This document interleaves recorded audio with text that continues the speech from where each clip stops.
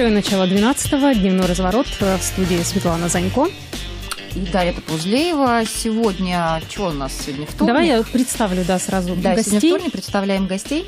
А, Михаил Шевелев у нас в гостях, руководитель Альянса консультантов инициативного бюджетирования. Михаил, добрый день. Добрый день. Николай Плюснин, эксперт Альянса. Николай, добрый, добрый день. день. И Денис Ерохин, депутат Кировской городской думы. Денис, здравствуйте, Ива. Добрый день.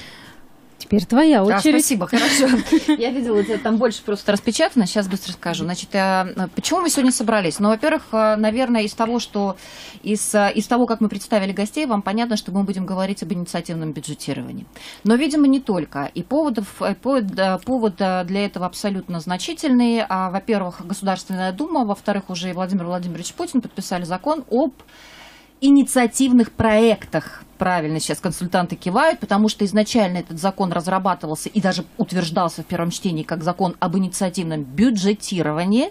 Сразу же а, приводим пример а, за, а, проекта, который в Кирове уже больше 10 лет существует, проект поддержки местных инициатив, инициативное бюджетирование. Но в итоговом варианте исчезло оттуда название слова бюджетирование и появилась, назв... э, появилась формулировка об инициативных проектах. Нам очень важно сейчас разобраться совместно с коллегами, что значит подписание этого закона? Потому что, напоминаю, несколько лет назад, больше уже двух лет назад, был разработан закон Кировской области об инициативном бюджетировании, который лег под сукно в общественной палате и не был принят. Сейчас вот в данный момент а, шла его доработка, переработка с тем, чтобы от общественной палаты, как законодательная инициатива, этот закон региональный об инициативном бюджетировании был бы вынесен на ОЗС и утвержден. Почему? Потому что, например, в этом году а взяли и отменили ППМИ, денег не дали, хотя конкурс прошел. А при существовании закона было бы определено, например, что не меньше 1% от дохода области идет на инициативные проекты граждан. И граждане таким образом участвуют в распределении бюджетных средств, объединяясь, выявляя самые важные проект, проблемы и решая их совместно, там, софинансируя, получая деньги из регионального бюджета по региональному проекту ППМИ. Это для тех, кто думает, что это федеральные да, для тех, субвенции. Кто думает, что это федеральные субвенции. Ну вот пока мы все это, а, простите за долгую преамбулу, пока мы все это, значит, прорабатывали, уже Госдума приняла закон, и Путин подписал. И теперь нам нужно понять, как с этим жить, что это определяет. А, собственно, Дениса Ерохина мы как депутаты Кировской городской думы пригласили. Денис тоже ознакомился, вчера мы ссылку присылали, чтобы мы позадавали вопросы людям, которые 10 лет в инициативном бюджетировании вместе. Что Денис да. муниципальное управление все-таки, да. Ребята тоже а, специалисты в муниципальном а, управлении. А нам с Дашей очень важно знать, как и слушателям нашим, почему важно не путать региональные и федеральные деньги, что нужен ли нам теперь региональный закон, когда есть федеральный закон, вот простыми словами, без цифр, обозначающих наименование законов, депутаты, которые там хотят их посмотреть, отдельно обратятся к консультанту. Приступаем, товарищи. Кто первый берет слово? А можно я еще маленькую да, Михаил сделаю? Потому что, когда ты все это говорила, то я обратил внимание, что это непросто. То есть вообще слышать даже нам, знающим все слова и, в общем-то, понимающим все буквы и смыслы, это очень сложно. Вот. А у меня есть предложение сегодня построить разговор именно на городе Кирове, то есть на законе этом, который будет, в общем-то, влияет на местное самоуправление. Это новый инструмент.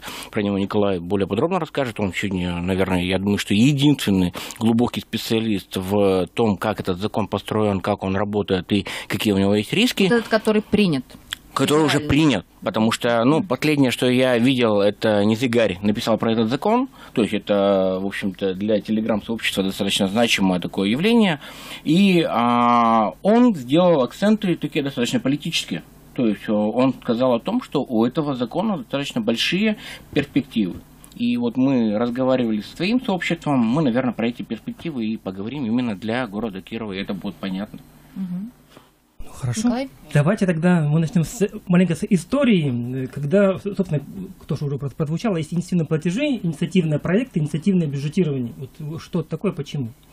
Если помните, в, в августе 2017 года в Кирово пришел совет по, по местному самоуправлению, где впервые понятие инициативного бюджетирования прозвучало из уст президента.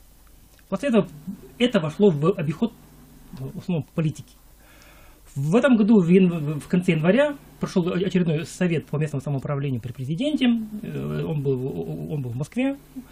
И после этого было поручение проработать проект закона. И там прозвучало, что местные бюджеты должны через три года выделять не менее 5% своих бюджетов на так, такого рода проекты. Это есть поручение президента. Угу. После этого Госдума быстро приняла в первом чтении проект закона об инвестиционном бюджетировании. Когда как все у нас делается да, очень быстро. Когда, когда мы его увидели, мы сильно удивились, потому что все то, что было наработано в России за 10 лет, можно было выкинуть. И, это не было учтено или э, ну, были другие цифры или что там? Те люди, кто писал проект закона, они ну, не понимая глубины и смысла происходящего, просто написали, как они это увидели. Угу. На втором чтении проект претерпел изменения, как бы было сказано, колоссальные. И я, наверное, впервые за последние там, лет 5-6 могу сказать, что принят классный, очень хороший, полезный, продуктивный закон. Фу, Звучит как шутка. Можно выдохнуть, я не знаю, или задуматься. Хорошо, так. То есть это, это, это такая история, и это то, что мы получили сегодня. Собственно, что в нем хорошего? Давайте тогда о том, что было коротко. Ну, первое, да, появилось понятие инициативного проекта. Собственно, когда шло обсуждение еще до первого чтения закона, весь прошлый год шло обсуждение проекта закона в разных вариациях, все говорили о том, что нужно внести понятие в кодекс бюджетный, о том, что, что же это за платежи граждан, там, физлиц, там, юрлиц, которые попадают в бюджеты, что это такое? Это, это не налоги, это что? Собственно, этот, этот закон, который мы сейчас обсуждаем, ввел отдельно поправку в, в, в, в кодекс бюджетный, там появилось понятие инициативные платежи, угу. как вид отдельных доходов бюджета. Угу. Если раньше был вопрос, вот доходы, которые попали в бюджет, можно ли их вернуть, вернуть нельзя, теперь точно их можно обратно, если проект не был реализован или был реализован с экономией и какие-то иные форматы, вот эту, то, что осталось, можно вернуть. Теперь угу. это отдельный вид доходов бюджета. И это очень важно именно для... Инициативные платежи. Да. Они конкретно на проекты по да, инициативному да, бюджетированию. Да, то есть на каждый проект открывается, по сути, отдельный субсчет в муниципалитете, и на него поступают деньги. И если вдруг проект не реализован или реализован с экономией, опять же, торги никто не отменял, тогда можно будет эти суммы вернуть. Это деньги а... граждан? Да. Это, и граждан... это то, что софинансирование да, называлось? Да. То есть то... на этом счете только то, что положили граждане? Да. А то сроки есть... какие-то обозначены? Вот тут Сейчас. пока нет. Если это были поправки в кодекс бюджетный, это будет отдельно. Но вот, но, но вот эта проблема, которая была, она была в каждом регионе страны, где были такие проекты, как бы с деньгами. Что это такое? Теперь дан ответ и на этот вопрос. И, собственно, теперь вернемся к самому началу закона. Что же такое инициативные проекты? Да, когда мы стали пытаться разбираться, что же такое инициативное бюджетирование, да, это не некая деятельность, это ну, что-то люди могут решить, на что они, ну, есть разные формы закон пошел по пути чуть-чуть более другому. Давайте уберем слово бюджетирование. В чем суть? Суть в том, что мы делаем некие проекты с участием граждан. Собственно, закон ввел в закон местного самоуправления новую статью 26 прим, собственно, где и написал, что же такое инициативные проекты. Так. Кто их может подавать? Как это все делается? Собственно, вот ключевая вещь закона. Да. Появилось, появился, появилось новое понятие и весь механизм, как это может работать. Ну вот смотрите, поправьте меня, может, я все это время неправильно считала. Для меня э, само понятие инициативного бюджетирования было несколько шире, чем понятие проектов. То есть вот э, закон, он, получается, сузил, ограничил эту зону, то есть куда могут граждане, как могут граждане я влиять на бюджет. Переведу, потому что Коля как раз сказал, изначально есть деятельность, она родилась, в том числе из нашего проекта по поддержке местных инициатив. Эта деятельность получила название «Инициативное бюджетирование» оно стало охватывать множество различных совершенно а, проектов, скажем так. У нас есть народный бюджет, ППМИ, в других регионах есть э, разные совершенно там э, комфортные там среды, там еще там какие-то. И а когда изначально хотели сделать закон, то... Ну, еще раз, сначала... подожди, вот это очень важно, не спутай, потому что э, этот человек, э, эти люди, которые думают, что это региональные деньги по ПМИ, они про комфортную среду, среду как раз да, путают. Комфу... Проект э, «Комфортная городская среда» – это федеральная программа. Это отдельная не надо федеральная путать. программа. Я Мы согласен. сейчас говорим ну, про инициативные видите, примазываясь проекты. к этим федеральным программам и деньгам, а, местные проекты называют очень-очень по-разному. Они имеют очень-очень разное название. В общем, в каждом регионе были свои. Да, в каждом регионе и в каждом муниципалитете могли быть свои. Например, в любом, а, в одном из муниципалитетов Янау есть одновременно три проекта, а, которые там уютный Ямал, бюджет для граждан и еще есть один а, проект. Ну, то есть, вот эти все проекты-то, они как бы переплетены между собой, и граждане часто не понимают, чем один от другого отличается. Uh-huh. То есть, им, в принципе, это все равно, как uh-huh. это называется. И это деятельность. И ее регламентировать крайне тяжело, потому что ее забюрократизировать нельзя. А есть проекты, есть сама инициатива граждан, есть проектная деятельность, которую мы все знаем, и есть такой механизм взаимодействия инициативы гражданина и администрации муниципального образования. Вот как это взаимодействие по этой инициативе выстроен, выстроить, этому и посвящен закон. Вот именно этому взаимодействию. Если есть инициатива граждан, она может быть в особом, ну, в определенном порядке подана, и администрация, и Дума а, местная, они должны проявить э, определенную активность и отреагировать на эту инициативу. То есть вот эта процедура инициативы и реакции на эту инициативу и предусмотрена в этом проекте. Не знаю, кто как, бы, кто как переводил, но мне кажется, что можно продолжить про проект. Да, давайте я продолжу, потому что именно что вот отличие деятельности, то есть мы говорим про некую сферу или уже про применение, то есть вот о том, как это можно реализовать, то есть, собственно, через проектную деятельность. То есть кто может подать проект? То есть, что, что такое проект инициативного бюджетирования? Собственно, это, по сути, инициативный проект. Закон дал определение. Тут, тут, знаете, какая вещь? Для Кирова, вот весь закон, для тех, кто был в проекте хоть там, год, два, три, почти ничего нового. Такое впечатление, что взяли кировский проект по ПМИ и его аккуратно переписали в очень красивые фразы. Поэтому для, для, вот почему и для города Кирова, были до прошлой да, недели. И для Кирова, и для области, для тех, кто был в проекте, почти ничего нового. Для, для других регионов масса нового, у них есть непонимание, как это реализовать, потому что они именно вписали в закон о местном самоуправлении. Ну, по, по сути, проект можно, можно платить тебе дать. Теперь любая группа граждан. То есть, неважно, есть решение местной думы, нет, там, есть решение местной администрации, любая группа из, из, из 10, 10 человек могут объединиться и подать проект. Дальше, дальше, дальше закон говорит, э, что да, нужно его обсудить в порядке собрания, конференции, либо, либо, либо иного механизма, указанного в законе. В Кирове так и было. Тут же закон ввел новое понятие, которое раньше, раньше не было в ППМИ и, и не было там в бюджете народном. Теперь появилась форма опроса. То есть в законе был опрос, но теперь есть отдельный опрос. И появилась отдельная форма сбор подписей. То есть это, это, это, по сути, две новые формы местного самоуправления, которые появились в этом законе только для такого типа проектов. То есть, то есть раньше были у нас, да, у нас есть Дума, понятно, э, э, а, она действует по, по своему регламенту, и, и граждане имели право на, на самоуправление через собрания, конференции и опросы, которые проводятся по решению Думы. Сейчас появились отдельные опросы и сбор подписей.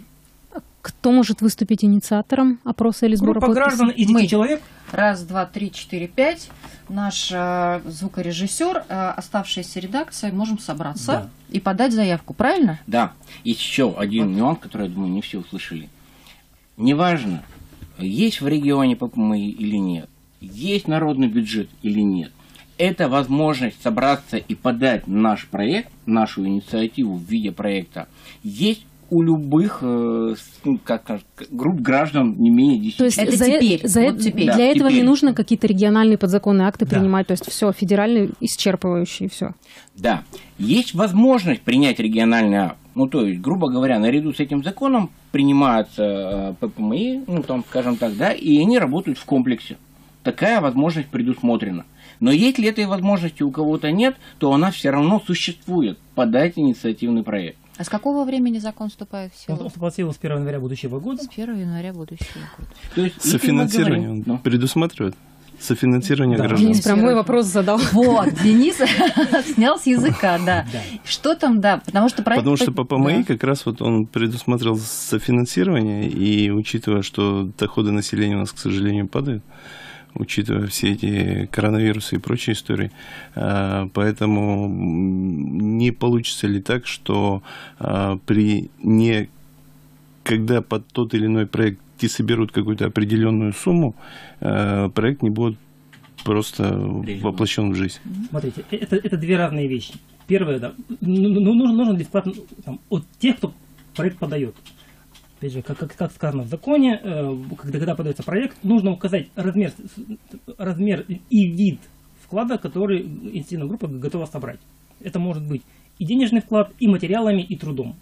То есть, mm-hmm. опять же, размер не определен, он его определяет либо местная администрация, если это будет документ, если нет, то просто в наличие, там, мы, мы выйдем трудом там 2-3 дня, вклад местный имеется, а остальное вклад муниципальный. А в ППМИ, давайте сразу сравнивать, четко было определено количество средств, да, которые должны быть э, софинансированы. головой. Это, эта норма появилась э, буквально через 5 лет после того, как ППМИ появилась. Ага. На первом этапе размер не был определен. И даже когда мы первое время присутствовали на собраниях, мы всегда говорили, ребята, это ваша инициатива. Вы скажете, что у вас есть рубль, вы можете участвовать. Вот вам к рублю не хватает там 1 миллион 999 тысяч 99 рублей. И вы сможете принять участие. Ваш вклад всего лишь показывает на то, насколько вы готовы сами поучаствовать. То есть, по большому счету, вы говорите, мы бы сами сделали, вы нам помогите. Именно поэтому получалось, что вклад-то он получался не там, фантастический, не обязательный, а вот именно посильный. Отсюда мы пришли к смыслу а, инициативного бюджетирования. Не денег собрать с населения, да, а, да. а что именно, да. Миш? Скажи а мы пришли к тому, что поддержать тех э, людей, те сообщества, первую очередь их поддержать, делать им больше, скажем так, шансы на улучшение местных условий, нежели те, кто не готов, собственно говоря, участвовать в развитии э, местной. Просто вот это не готов надо обозначить, потому что вот еще раз вспомним, я не знаю, как сейчас в законе, что по ППМИ э, там проходит много этапов, когда люди такие должны сесть в большом достаточно количестве, вот соседи сесть и договориться и пройти все этапы, собраться, выбрать э, задачу, поспорить, ее определить, бросить один рубль или больше, найти бизнес, который будет софинансировать, изучить муниципальное устройство, документы, оформить заявки, выбрать подрядчика, ну, пройти конкурсную процедуру, выбрать подрядчика, проконтролировать, как сделают работу, ее принять и за все это отвечать. То есть вопрос не в том, какие деньги придут, дадут водопровод или нет, как бы. А вопрос в том, чтобы добиться этого – с любым своим софинансированием, объединившись как соседи. Ну, как бы не соседи, не соседи, я сейчас вот 10 любых человек могут объединиться. Ты, ты сейчас просто столько всего сказала, мне кажется, половина такая, хм, расходимся. То есть, ну, насколько а кажется все это сложным вы просто. Представляете, именно так и было. Во-первых, а, когда первый раз... У нас поэтому э, до сих пор подъезд не когда расходимся. В первый год э, появился конкурс, и сказали, ребята, вы можете участвовать. И сказали всем ЦМА, сказали всем а, там, сотрудникам администрации о том, что мы будем участвовать участвовать, и сейчас появится возможность получить до миллиона рублей из областного бюджета на местные проблемы. Все таки вау, будем участвовать. И первый список, который пришел на проведение собраний, на вовлечение граждан, да, он составлял примерно там 200 с чем-то организаций. То есть 200 самоорганизованных групп, ТОСов, различных общественных организаций сказали, мы будем в этом участвовать. Потом, отлично, 200, 200, 300, 300, без разницы. Ребята, самое главное, то, что вы должны провести эти мероприятия, вот как Коля сказал, это провести собрание либо конференцию, чтобы это ваше было не вау, не каким-то маленькой там кучкой заинтересованных активистов, а чтобы это было легитимное решение вашего сообщества. Вы уж, пожалуйста, проведите его так, как полагается, в соответствии с уставом. Посмотрели уставы, в ТОСе там, например, да, нужно, чтобы очно пришли половина а, взрослых жителей дома. И все схватились за голову. Как мы можем это сделать? Никак не можем. Все стали приводить порядок устав. Но опять же, кроме того, чтобы привести в порядок устав, нужно все равно выполнить это условие. То есть принять коллективное решение мы знаем, как, как проходит коллективное решение, там, в ТСЖ, там, еще где-то там, да, лишь бы там кто-то галочку где-то поставил, куда-то бюллетень отпустил, и как птица счастья улетела. А здесь нет, здесь была основная процедура, это вот такое взаимодействие, легитимное принятие решений.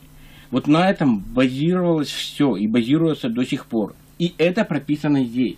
Даш, это знаешь про что вопрос? Вот не зря Миша начался из Игоря и политической истории. Когда мы голосовали за поправки сейчас, а вот эта история про то, что пойду, не пойду. По поправкам. По поправкам. Я понимаю, что многие проголосовали Правильно, за поправки. Да. Есть голосовали по поправкам. Вот это вот пойду, не пойду, хочу, не хочу, решает, не решает. Пойду проголосую за, но читать не буду. Зачем? все по телевизору рассказали. Вот это та же самая история. Что там у нас? Э, детская площадка, водокачка. Ну, вы там что-нибудь сделаете? Сколько с меня рубль? Нет, ну, ну я, у меня лопата есть, я приду. Как... А вы там что-нибудь сделаете за меня? Или там, где у нас депутат? Пусть он придет за нас, там все напишет, он же депутат, ему как бы денег дают еще на это, пусть вот это, вот это нам сделает, человечек к нам пришлет. А я там, у меня там а, помидоры, работа, внуки, я не знаю, что еще, как бы, это вот про эта история. Когда ты сказала, что, ой, сейчас нас послушали, подумали, что вот. И теперь мы вспоминаем, как бы, как хорошо живет где-то там люди. Эти люди где-то там собираются каждую субботу, обсуждают а, свои проблемы и дела, спорят, а, выносят там, значит, э, какие-то решения, они изучают, что там, какой закон приняли, устав свой меняют там или не меняют, понимаешь? Отзывают или призывают ну, депутата. Я вот. тут даже, это знаешь, больше сказала в, не в ту сторону, что это ну, создает вот эти какие-то сложности, а просто с той точки зрения, что в это, наверное, легко э, втянуться, когда ты попробовал один раз и понял, что ты действительно участвуешь в распределении этих средств, что ты можешь на что-то повлиять. И, насколько я помню, вот по прошлым эфирам даже, то есть э, есть группы, которые реализовали не один проект. Потому что... Значит, кто спрашивает, э, кто в центре города живет, есть такой адрес Свободы 60А. Десять лет назад это было разрушающееся постсталинское здание, а, у которого уходил фундамент. Во дворе стояли деревянные, вот эти, помнишь, такие двухэтажные выгребные ямы, сверху деревяшки, снизу ямы и бараки. И зайдите сейчас туда и посмотрите, что случилось с этим домом. Сначала встала детская площадка, расчистилась парковка, потом стала спортивная площадка со спецподкрытием. Потом они залезли в капремонт, настояли на том, чтобы там полностью укрепили фундамент, и здание превращается в современный двор. Это за счет того, что люди собрались раз, два, три, и пошло-поехало. Они не только в ППМИ влезли, они еще в этот проект поняли, в этом проекте разобрались, разобрались, какие у них права в капремонте, и смогли его ускорить. Вот э, по самому да, закону э, количество людей влияет ли на, ну то есть условно говоря, вот 10 граждан собрались, они могут иници... инициировать абсолютно любой проект, то есть начиная от детской площадки и заканчивая водопроводом, или условно говоря, для детской площадки нужно собраться в десятером, а для водопровода уже 100-150 человек. Как это работает? Опять же, по закону есть минимум 10 человек, но и, вот сейчас, сейчас буду много говорить слово «дума» и там, в разных вариациях. Дума может принять, то есть Дума каждая, в каждом, в каждом муниципалитете может принять решение, что эту цифру можно снизить. Может быть, два человека, три. Это, это может быть группа граждан, а, а можно дать право юрлицам угу.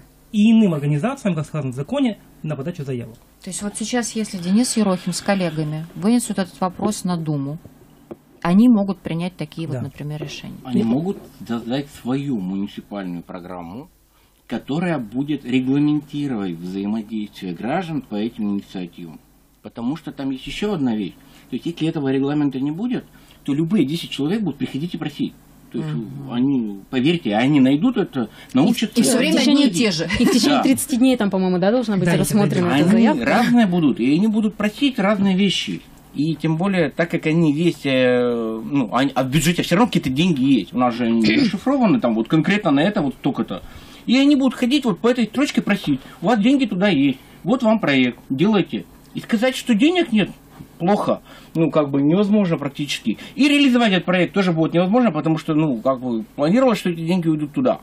И вот этот вот механизм, а, по сути, а, Закон толкает муниципалитеты, чтобы они выстраивали эту работу на муниципальном уровне по взаимодействию с этими инициативными группами а граждан. Кто там главный, кстати, Давай, администрация или Дума? Свет, давайте уйдем сейчас на рекламу, потом э, поподробнее уже будем... На этом вопросе да, начнем. На этом вопросе начнем. Да. Михаил Шевелев, Николай Полюснин, Денис Ерохин, Дарья Топузлева, Светлана Занько. Разбираем принятый Госдумой, подписанный президентом закон, закон об инициативных в перерыве сейчас налетели опять, да, на Да, а сейчас, конечно же, в перерыве тоже обсуждали. А, хотим передать слово Денису Ерохину, потому что вот мы уходили на перерыв на отличной совершенно фразе, что теперь Дума муниципальная вот имея в руках этот закон, не то чтобы строго даже следовать его букве, а может его еще преобразовывать, но задача одна президента поставлена, вот как Коль Плеснин сказал, какая задача? Через три года? Дойти до цифры 5%. от чего? От бюджета муниципального. 5% от муниципального бюджета через три года должно идти на инициативные проекты граждан. И вот тут э, у меня был вопрос перед перерывом. Все-таки у кого сейчас, благодаря этому закону, э, в руках главный инструмент или власть, да? Кто будет э, им оперировать этим законом? Кто здесь важнее? Администрация или Дума? Депутаты или чиновники? Если вопрос ко мне, дать так... а, давайте я все-таки да. спрошу. Первое, что меня пугает во всей этой истории, это то, что это администрировать всю эту историю будет администрация.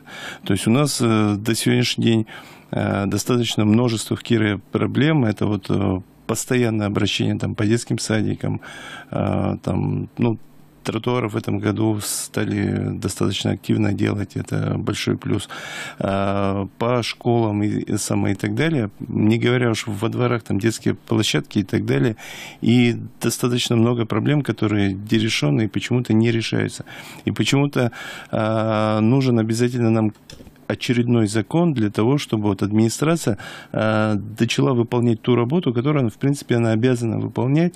Э, все, э, все работодатели это, в принципе, граждане администрации, и вот э, инициативная группа и так далее, это должно быть ну, как-то по умолчанию какое-то взаимодействие. Это вот мое мнение. А, то, что довести, то, что сказал президент, довести до 5%, это, конечно, здорово, как бы от бюджета, но, знаете, для этого надо сначала, наверное, а, нам в каждом муниципалитете, то, что касается области, постараться, чтобы, а, я думаю, что фактически эту сумму, наверное, можно увеличить. Если уменьшить какие-то неэффективные истории, такие как, допустим, по городу, там, какая-нибудь маршрутно-транспортная сеть, там, 15 15 миллионов, которая ровным счетом не рабочая, и э, сами сотрудники, как бы, э, вот, по крайней мере, у нас на депутатских комиссиях говорят о том, что ну, мы ее не применяем. Да? А, то есть э, вот э, пугает то, что это будет э, э, делать администрация. То, что касается инициативных групп.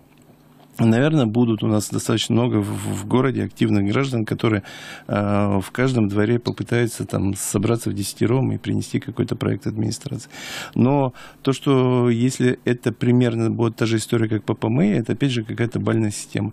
Там определяется в том числе софинансирование. Чем больше у группы граждан софинансирования, тем, соответственно, выше, э, э, да, выше вероятность того, что этот проект будет реализован. Э, поэтому э, тут э, не получится ли так, что э, сама реализация вот этих хороших идей от наших граждан, от наших кировчан там, в районах области, там, жителей области, э, превратиться опять в какой-то административный стопор, когда будут а, опять какие-то больные системы заполнения бумаг, потому что вот даже чтобы а, там передвинуть сроки фонда капремонта, ну вот э, у меня, допустим, очень много обращений граждан, которые вот пытаются, ну, дома 60-х годов там полностью разваливаются, и у них сроки стоят там 25 26 27 30 год, то есть они не факт, что до этого времени достоят, да, то есть это надо быть действительно каким-то суперграмотным человеком и превращается опять э, не упрощение для людей, а э, в какую-то, знаете, вот грамотно, да, вот грамотно заполните бумажку, грамотно, вот нет, вы подали дедотом бланки, вот перепишите на этот. Вот э, не получится ли та история снова, что все это будет за так скажем, забюрократизировано, и в конечном итоге опять будут, ну, по крайней мере, более быстрыми шагами, чем, допустим, у нас были проекты по ПМИ, мы не пойдем. Давайте отвечу так. Денис, это зависит от вас больше, чем от меня. Потому что, как, как, как я уже говорил, Дума принимает все правила проведения таких проектов в своем муниципалитете. Абсолютно все. От сроков подачи до форм документов, обоснования, размера вклада. Если мы говорим даже про больную систему, ее можно не вводить, а можно ввести. Можно поставить там, условие, что деньги, один балл за наличие и все, а остальное там за описание, за подготовку, за что-то еще. То есть сегодня у Думы так много полномочий в части именно, именно правила придумать. Раньше, раньше... То есть Дума может, вы можете придумать что-то свое, правильно? Да, то есть Дума в рамках, собственно, на что мы можем в этом году подавать? Условно, в этом году мы хотим, чтобы было больше проектов ну, там, по экологии, и все проекты, которые по экологии, там, имеют коэффициент 2. То есть не было такого, чтобы все взяли и сделали детские площадки Да. в своем дворе, и деньги закончились? То есть, ну вот каждый год Дума может обсуждать и вносить Да. условия. И каждый год можно менять эти правила, можно придумать конкурс не один, а два, а три, а четыре, любое количество. И даже если в одном, то можно придумать разными коэффициентами на разные условия. И, собственно, сейчас. И, собственно, для, для того, чтобы убрать как бы, влияние именно администрации, собственно, поэтому Дума может принять. И если мы понимаем, что в Кирове, говорим про Киров, вот много заявок, а денег, как всегда, мало, Дума сразу может принять решение, что это будет конкурсный отбор. И в конкурсную комиссию минимум половину членов рекомендует Дума. То Ну, есть даже для отбора, это, то есть это, это закон, закон уже тоже это предусмотрел, что даже если мы хотим сделать много, понимаем, что будет много заявок, даже Дума и влияет на отбор, собственно говоря, э- э- э- этих То есть мы можем просто администрацию оставить э, техническим звеном в этой цепочке. То есть, получается, у нас есть э, по сути, они граждане, есть Дума, которую граждане звеном. выбирала. Вы, Денис, сейчас э, со, с точки, там, со стороны городской думы делаете все, чтобы администрацию, уж простите, администрация, если вы нас слушаете, осталась за скобками. То есть осталась только в качестве вот... она будет работать. По- Нет, понятно, что она будет работать, но в тех оказывать... правилах, которые Дума ей прописала под конкретный Да. муниципалитет, под конкретный проект. И то есть, если это действительно можно лавировать каждый год, ну, то есть, действительно, бы каждый год делать упор на какие-то проекты, то у администрации уже не останется этих рычагов каких-то, я не знаю, там, Денис ведь правильно сказал, то, что у нас не получится сделать так, что вот мы тебе администрация сказала, ты вот делай вот, вот так вот и все. Потому что у нас законы очень разнообразные. То есть, если так э, подходить к администрации, всегда найдется закон, который запрещает что-то делать, где можно отказать в выполнении и так далее. То есть, у нас э, на сегодняшний день требуется скорее взаимодействие всех этих трех структур, это инициаторов администрации и депутатов, нежели какое-то взаимное, ну, а, ну как правильно сказать-то, а, заставление работать. То есть и здесь э, вот как раз вот эти механизмы, которые, про которые Николай вот говорит, наверное, тут важно -то тот, что значение Думы повышается. То есть оно тут вроде бы здесь явно не видно, но вот когда мы изучали, видны там некоторые моменты. Например, э, именно депутаты могут сказать, денег нет. Именно депутаты могут сказать, деньги есть. Соответственно, эта инициатива интересна, она требует проработки. Именно депутаты могут организовать вот этот вот сбор а, каких-то предложений и доработки со стороны администрации. Потому что администрация, если здравое решение, здравый подход, то она должна найти решение. То есть не просто как бы там отписаться, там, сказать, что в работе там или еще чего-то, а вот эти вот, э, ну, повышение ответственности конкретных исполнителей за принятие решений в отношении инициативы граждан. депутаты могут э, сами проекты как-то оценивать и Конечно. работать с ними? Еще раз, то есть, когда мы говорим, если будет принято решение, что будет комиссия конкурсная, и они решат сами в нее войти, половину Мгм. комиссии они составят. Какой-то был еще момент, да, да, давайте просто еще, еще, еще немножко про элементы закона, потому что без, без них система не выстраивается. Вот, то есть, вот есть интенсивная группа, как мы проговорили, 10 человек, может быть меньше, могут быть не граждане, то есть, опять же, это решает местная дума. Все равно проекты подаются после обсуждения в порядке, там, как сказано в законе о местном самоуправлении, там, собрания, конференции, либо иная форма, которую местная дума может принять. Там, те же подписные листы, э, те же опросы, включая опросы через интернет, опять же, это, это новость. То есть Ду- Дума может принять другие способы не, не, не впрямую со- со- собрания. Проект приходит в администрацию. Все равно это чиновники, которые, собственно, этим занимаются. У них есть три дня на прием э- этого, этих документов и публикацию этого проекта в интернете. Раньше этого не было. После этого минимум 5 дней есть у всех граждан, которые проживают в этом муниципальном образовании, на подачу замечаний, предложений к этому проекту. То есть проект может быть хорошим, но кто-то что-то увидел в нем еще, какие- какие-то моменты, которые можно еще переделать. В любом случае, есть 30 дней на, на ответ у администрации, она должна этот проект рассмотреть. Если раньше просто можно было подать и сказать, ну, спасибо, спасибо за ваше письмо. Теперь они обязаны дать ответ и либо сказать, что проект хороший, и мы его передаем в Думу, либо могут его отклонить. Знаете, есть такое смешное э, основание для отклонения, даже, даже сейчас его найду. Э, Наличие возможности решения проблемы более э- э- э- эффективным способом. методами. То есть это вот абстрактная вещь. Нет, ну смотрите, например, Всё. подали заявку, а уже этот проект или Там этот участок формирование комфортной городской комфортной среды. Да, то есть- то среде. есть либо- Ну, то есть- например, да? Поэтому, когда мы говорим про то, что роль Думы, то есть, то есть, ну, можно сказать, что Дума, Дума просто получит проекты.